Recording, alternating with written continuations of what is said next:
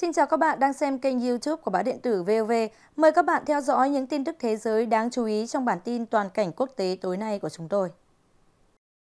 Ông Plot Hama, quan chức phụ trách cơ quan hành động bom mìn của Liên Hợp Quốc hôm qua cho biết, cuộc xung đột giữa quân đội Israel và lực lượng Hamas đã tạo ra những đống đổ nát khổng lồ với tổng trọng lượng lên tới 37 triệu tấn, tức trung bình 300 kg trên mỗi mét vuông ở giải Gaza.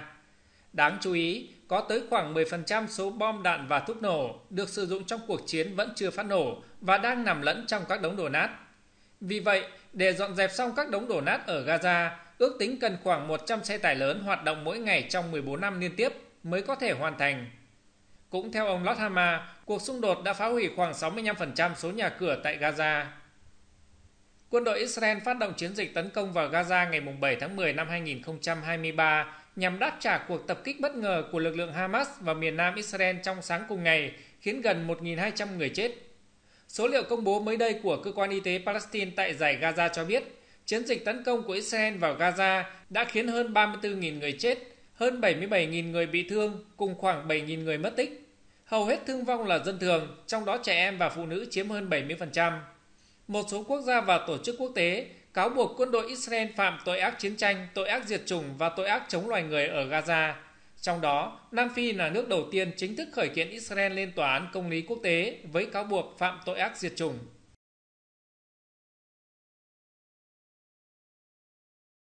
Người phát ngôn của Tổng thư ký Liên Hợp Quốc Stephen Dujarric hôm qua cho biết lực lượng hỗ trợ nhanh bán quân sự đang bao vây Al-Fasir để chuẩn bị cho cuộc tấn công vào thành phố này, trong khi quân đội Sudan đã có những động thái chuẩn bị trước cuộc tấn công. Ông Dujarric kêu gọi các bên kiềm chế, đồng thời cảnh báo về hậu quả thảm khốc của cuộc tấn công đối với dân thường tại thành phố này. Al-Fasir là thành phố lớn cuối cùng ở vùng Darfur, không nằm dưới sự kiểm soát của lực lượng hỗ trợ nhanh bán quân sự và hoạt động như một trung tâm nhân đạo chính ở khu vực. Nhưng từ giữa tháng 4, các vụ đụng độ đã xảy ra trong thành phố và các khu vực xung quanh. Trong đó, nhiều ngôi làng phía tây thành phố Al-Fasir đã bị lực lượng hỗ trợ nhanh bán quân sự phá hủy. Xung đột giữa quân đội Sudan và lực lượng hỗ trợ nhanh bán quân sự đã bước sang năm thứ hai, tạo ra cuộc khủng hoảng di dân lớn nhất thế giới. Theo Liên Hợp Quốc, gần 25 triệu người, tương đương một nửa dân số Sudan, cần được viện trợ và hơn 8 triệu người phải rời bỏ nhà cửa. Liên Hợp Quốc cũng đánh giá cuộc tấn công vào thành phố Al-Fasir sẽ khiến bạo lực lan rộng ra khắp khu vực Darfur Cảnh sát tỉnh Yala hôm 26 tháng 4 cho biết một dân quân tự vệ đã bị bắn khi đang trên đường trở về nhà sau buổi cầu nguyện ở nhà thờ và thiệt mạng ngay tại hiện trường ở quận Ban Nang Sata, tỉnh Yala. Ngay sau đó, một chiếc xe tải chở 5 thành viên dân quân tự vệ khác tới hỗ trợ nạn nhân cũng đã trúng bom của các nhóm phiến quân nổi dậy, khiến toàn bộ các thành viên trên xe đều bị thương. Khu vực nơi xảy ra vụ việc tiếp tục bị phong tỏa ngay sau đó khi các lực lượng chức năng phát hiện thêm các thiết bị gây nổ khả nghi khác tại hiện trường. Cũng trong ngày 26 tháng 4, các nhóm phiến quân nổi dậy được cho là đã tiến hành một vụ tấn công bằng bom và đốt phá tại nhà máy điện sinh khối ở quận Sabayoy thuộc tỉnh miền Nam Songkhla. Giới chức Thái Lan cho rằng các cuộc nổ súng, tấn công, đốt phá đều nhằm mục đích tạo ra tình trạng bất ổn ở các tỉnh biên giới phía Nam. Trước đó, một nhà máy điện sinh khối khác ở quận Melan thuộc tỉnh Pattani đã bị một nhóm vũ trang tới phóng hỏa vào tối 25 tháng 4, nhưng rất may không có thương vong. Bộ Tư lệnh Chiến dịch An ninh Nội địa Thái Lan ngay lập tức đã ra thông báo cho biết sẽ tăng cường siết chặt an ninh nhằm đảm bảo an toàn cho người dân và các doanh nghiệp hoạt động trong khu vực các tỉnh miền Nam Thái Lan. Theo Bộ Ngoại giao Mỹ, Ngoại trưởng Antony Blinken đã có các cuộc thảo luận thực chất và mang tính xây dựng với các quan chức Trung Quốc về các ưu tiên chính trong quan hệ song phương và một số vấn đề khu vực và toàn cầu. Ngoại trưởng Mỹ nhấn mạnh, Mỹ sẽ tiếp tục sử dụng ngoại giao để đạt được tiến triển trong những lĩnh vực bất đồng và hợp tác trong nỗ lực quản lý có trách nhiệm cạnh tranh với Trung Quốc. Ngoại trưởng Antony Blinken nhấn mạnh những tiến triển đạt được trong việc thực hiện các cam kết của lãnh đạo hai nước từ cuộc gặp thượng đỉnh cuối năm ngoái, bao gồm thúc đẩy hợp tác chống ma túy, tăng cường liên lạc giữa quân đội hai nước nhằm tránh tính toán sai lầm và xung đột và tiến hành thảo luận về quản lý rủi ro và thách thức từ trí tuệ nhân tạo. Hai bên thảo luận tầm quan trọng của việc tăng cường quan hệ giữa nhân dân hai nước và Ngoại trưởng Mỹ nhấn mạnh tầm quan trọng của các chính sách nhằm mở rộng trao đổi giữa sinh viên, học giả và doanh nghiệp hai nước.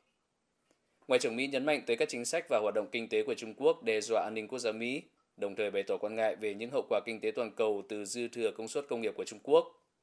Ngoại trưởng Mỹ kêu gọi đối xử công bằng và một sân chơi bình đẳng đối với người lao động và doanh nghiệp Mỹ. Ngoại trưởng Blinken cũng nhắc lại rằng Mỹ sẽ tiếp tục có những hành động cần thiết để bảo vệ lợi ích và giá trị Mỹ cũng như của các đồng minh và đối tác của Mỹ bao gồm ngăn chặn các công nghệ tiên tiến của Mỹ được sử dụng nhằm cản trở an ninh quốc gia và kinh tế Mỹ. Ngoại trưởng Blinken bày tỏ quan ngại sâu sắc về việc Trung Quốc hỗ trợ ngành công nghiệp quốc phòng của Nga, đồng thời nhấn mạnh tầm quan trọng của việc duy trì hòa bình và ổn định ở eo biển Đài Loan, cũng như nhắc lại chính sách một Trung Quốc không đổi của Mỹ. Ngoại trưởng Blinken cũng nhấn mạnh tầm quan trọng của việc duy trì thượng tôn pháp luật và tự do hàng hải ở Biển Đông, cũng như sự cần thiết ngăn chặn leo thang khủng hoảng ở Trung Đông và cam kết của Mỹ đối với việc phi hạt nhân hóa hoàn toàn bán đảo Triều Tiên. Ngoại trưởng Mỹ và các quan chức Trung Quốc cũng tái khẳng định tầm quan trọng của việc duy trì các kênh liên lạc mở tại mọi thời điểm và thống nhất tiếp tục ngoại giao và tiếp xúc cấp cao trong thời gian tới.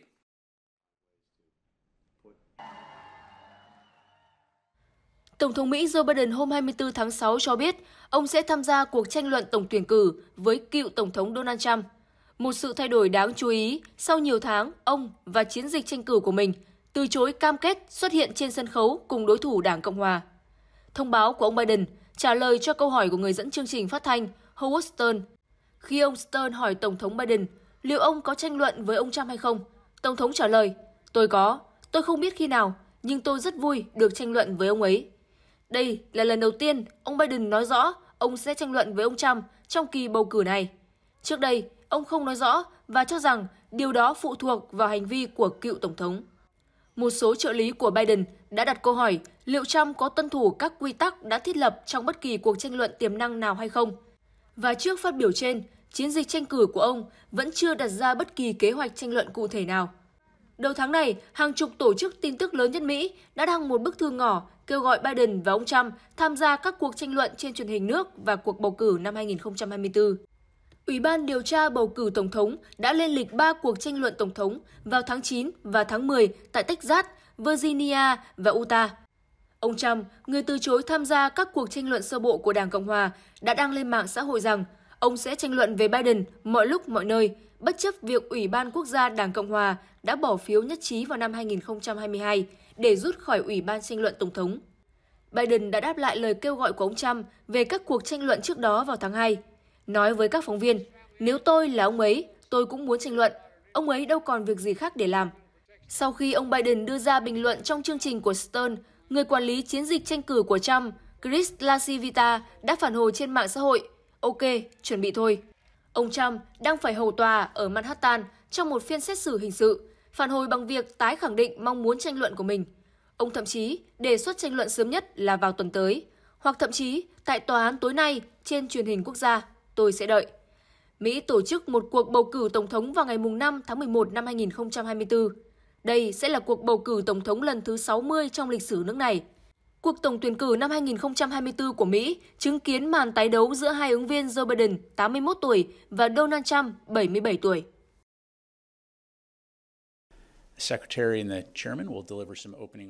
Phát biểu tại buổi họp báo công bố gói viện trợ quân sự mới cho Ukraine, Bộ trưởng Quốc phòng Mỹ Lloyd Austin cho biết đây là gói viện trợ an ninh lớn nhất mà Mỹ từng cam kết cho Ukraine. Gói viện trợ này bao gồm tên lửa đánh chặn cho hệ thống phòng không Patriot và NASAM, các hệ thống chống máy bay không người lái và thiết bị hỗ trợ, một lượng lớn đạn pháo và tên lửa không đối đất cùng các thiết bị bảo trì và bảo dưỡng. Đây là gói viện trợ thứ hai trong tuần Mỹ công bố dành cho Ukraine với kinh phí từ đạo luật 61 tỷ đô la Mỹ mới được Quốc hội Mỹ thông qua và Tổng thống Joe Biden ký duyệt. Gói viện trợ này được sử dụng theo sáng kiến viện trợ an ninh Ukraine với sự hợp tác của các công ty Mỹ nhằm mua vũ khí đáp ứng các mục tiêu an ninh dài hạn của Ukraine. Trước đó, chính quyền Tổng thống Biden hôm 24 tháng 4 đã công bố gói viện trợ 1 tỷ đô la Mỹ cho Ukraine nhằm cung cấp cho nước này vũ khí và đạn dược từ kho dự trữ quân sự của Mỹ. Thị trưởng Kharkiv, thành phố lớn thứ hai của Ukraine cho biết đã xảy ra một loạt vụ nổ rung chuyển khu vực này vào đêm ngày 26 tháng 4, dạng sáng ngày 27 tháng 4. Kharkiv đang bị tấn công, đối phương đang bắn phá thành phố, đã có một số vụ nổ xảy ra. Thị trưởng Iho Terekhov viết trên kênh Telegram hôm nay ngày 27 tháng 4. Báo Pravda trích dẫn tuyên bố của không quân Ukraine cho hay các máy bay chiến thuật của quân đội Nga đang tích cực oanh tạc ở miền Đông và miền Nam nước này. Phát biểu tại một hội nghị của Tổ chức Hợp tác Thượng Hải ở Astana, thủ đô Kazakhstan hôm 26 tháng 4, Bộ trưởng Quốc phòng Nga Sergei Shoigu cáo buộc Mỹ đứng sau cuộc xung đột giữa nước này với Ukraine.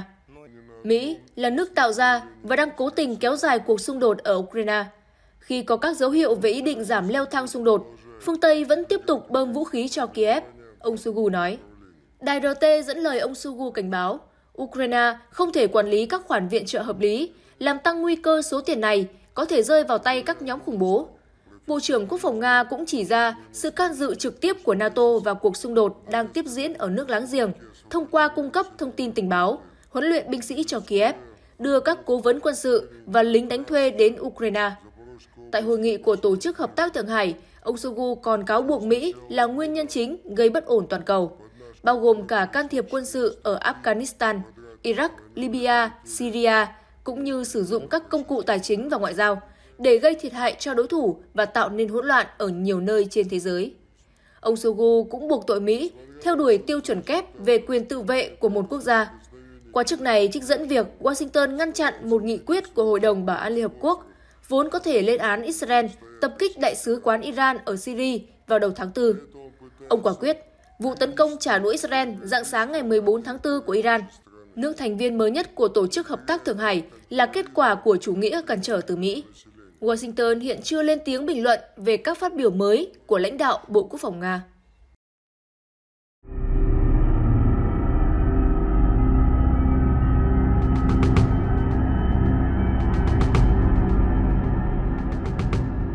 Sự phổ biến của máy bay không người lái trên chiến trường khiến cả Nga và Ukraine không thể đưa ra các phương tiện quân sự qua các khu vực chống trải mà không sợ bị phát hiện. Xe tăng Abrams mà Mỹ cung cấp cho Ukraine cũng không ngoại lệ. Chưa vòng trong đầy 2 tháng, các lực lượng Nga đã phá hủy 5 xe tăng Abrams mà Ukraine triển khai trong vùng chiến sự. New York Times dẫn lời các quan chức cấp cao giấu tên của Mỹ cho biết, ngoài 5 chiếc Abrams đã bị Nga loại bỏ, còn 3 chiếc khác bị hư hỏng nhẹ kể từ đầu năm nay. Tờ báo này cho rằng cuộc chiến UAV đã bắt đầu gây thiệt hại lớn cho một trong những biểu tượng mạnh mẽ nhất của sức mạnh quân sự Mỹ. Xe tăng Leopard của Đức cũng là mục tiêu tấn công của Nga và ít nhất 30 chiếc trong số đó đã bị phá hủy. Tùy thuộc vào kích thước và độ phức tạp về công nghệ, máy bay không người lái có thể có giá chỉ 500 đô la Mỹ, một khoản đầu tư nhỏ để loại bỏ một chiếc xe tăng Abrams trị giá 10 triệu đô la Mỹ. New York Times bình luận. Khi vụ phá hủy xe tăng Abrams đầu tiên được đưa tin, một số blogger quân sự thân Nga nói rằng chiếc xe tăng chiến đấu chủ lực có giá từ 5 đến 9 triệu đô la Mỹ đã bị một máy bay không người lái UAV trị giá 30.000 đô la Mỹ tấn công. Không có gì ngạc nhiên khi Nga sử dụng máy bay không người lái góc nhìn thứ nhất UAV FPV để phá hủy xe tăng, bởi đây là phương pháp phổ biến nhất được cả hai bên trong cuộc xung đột Nga-Ukraine sử dụng. Theo các quan chức Mỹ, mối đe dọa từ UAV là một phần nguyên nhân khiến Ukraine phải rút xe tăng M1A1 Abrams khỏi tiền tuyến.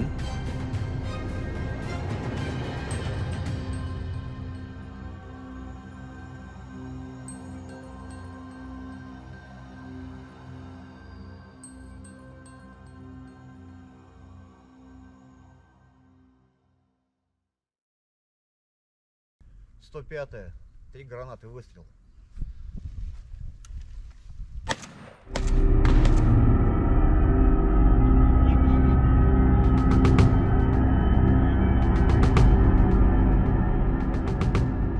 Xe tăng Abrams được Mỹ chuyển giao cho Ukraine vào tháng 10 năm ngoái.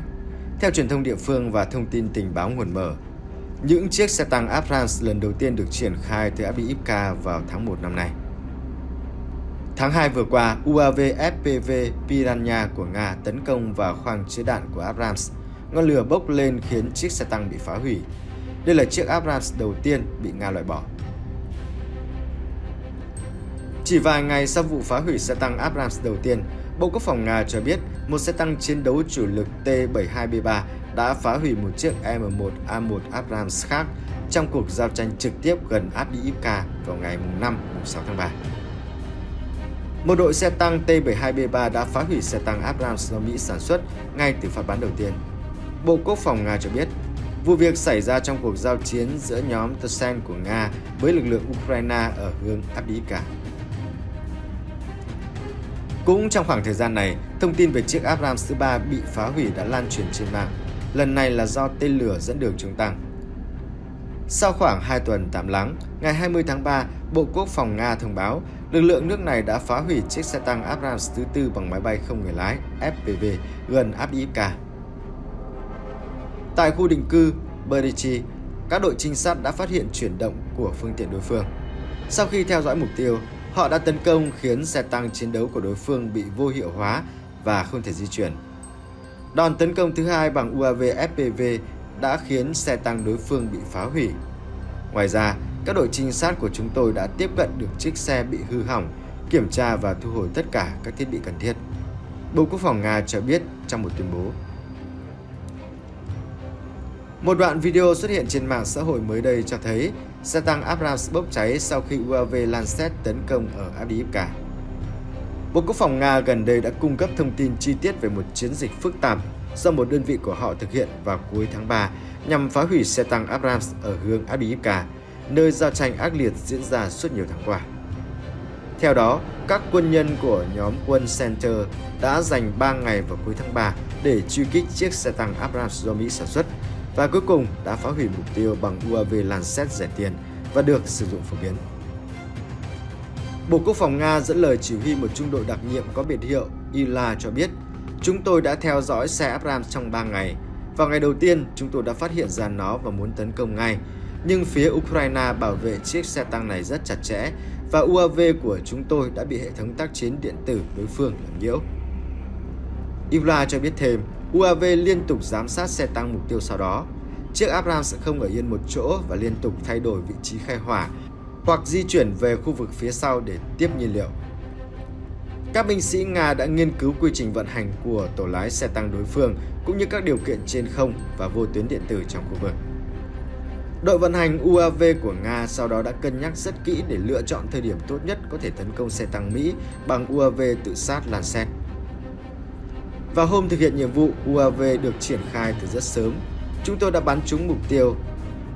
Kế hoạch mặc dù mất nhiều thời gian nhưng đó đã mang lại hiệu quả, Igula kể lại. Theo thông tin của Bộ Quốc phòng Nga, chiến dịch này đã dẫn đến việc Ukraine mất xe tăng Abrams thứ 5 trong vòng chưa đầy 2 tháng.